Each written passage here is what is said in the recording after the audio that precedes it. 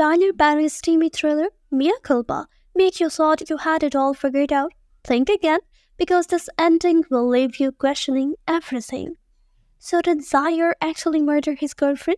The answer might shock you. No, he didn't lay a finger on her. In fact, his girlfriend Heidi isn't even dead. Turns out Heidi faked her own death, and the real scandal? She's been getting cozy with Zyair's paintbrush wielding charms behind the back of Mea's brother in law, Ray the assistant DA. But it gets even crazier. Ray, the ambitious politician in the making, decide to cook up a murder box to boost his viral campaign. And get this, his own mom, Azalea, is in on it, faking cancer for sympathy vote. Now Mea caught up in the whirlwind of the scene ends up crossing paths with Heidi in the Dominican Republic of all places. But before she can spill the beans, Mea finds herself in a showdown with Ray and Azalea, resulting in a chaotic car chase straight out of an action movie.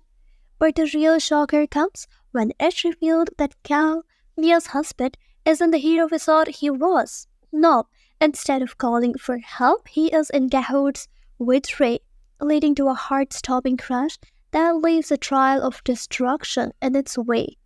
In the end, justice prevailed, with Ray getting his cameo pants thanks to a clever anonymous tip-off from Mea and Zyair. Well, he's off the book, free to pursue his artistic endeavors, and maybe even a sequel-worthy romance with Mea. Speaking of sequels, while nothing's confirmed yet, the door is wide open for more twists and turns in the world of Mea Culpa. Will Zyair continue to pursue Mea?